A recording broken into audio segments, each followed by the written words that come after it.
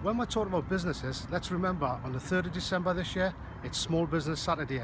We all have our favourite small businesses that we love to visit and spend our money at. Why not nominate them? If they're a good small business in Newcastle, let us know.